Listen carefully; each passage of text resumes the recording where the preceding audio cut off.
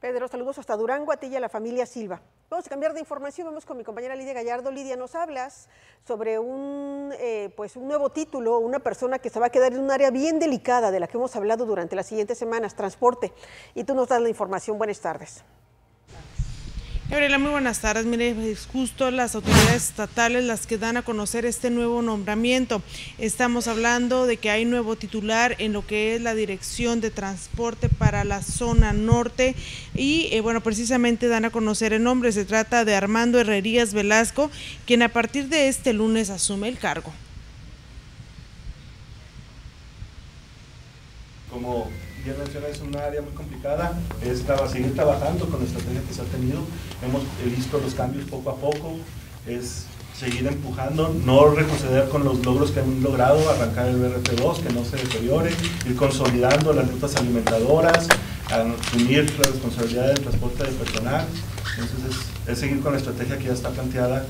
Para consolidar no solo el proyecto del BRT2, sino eh, volver a poner en marcha el BRT1, que como ustedes saben es, eh, vendrá a darle solución a una de las grandes arterias y, conectará zonas donde más flujo de pasajeros hay para los sistemas de transporte de carril confinado o BRT.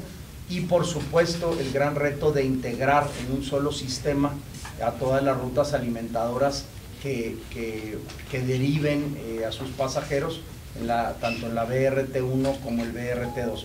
Además de eso, también como uno de sus grandes retos tendrá, junto con el subsecretario Aguirre, pues tendrán la, reforma y, la, el relanzamiento de la forma en la que debemos entender el sistema de, transporte de personal. Reiterarle el apoyo y sabedor de que es un gran reto. Le deseo el mayor de los éxitos y cuente con nuestro humilde apoyo.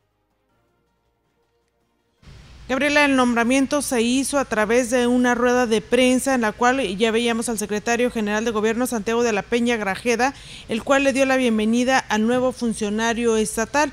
Por otra parte, el ahora director de transporte también comentó que tiene una gran encomienda de redoblar los esfuerzos en relación con la mejora y modernización del servicio, así como la orden eh, en el personal y también en los tiempos de espera ya lo mencionaba también en la entrevista el secretario Santiago de la Peña, en torno a estos proyectos que están pendientes por parte de las autoridades estatales en torno al BRT1, las líneas y también, eh, bueno, pues que las cuales serían las conectores para poder dar servicio a mayor cantidad de fronterizos. Así como, bueno, pues llega el nuevo titular de la Dirección de Transporte Zona Norte, Armando Herrerías Velasco.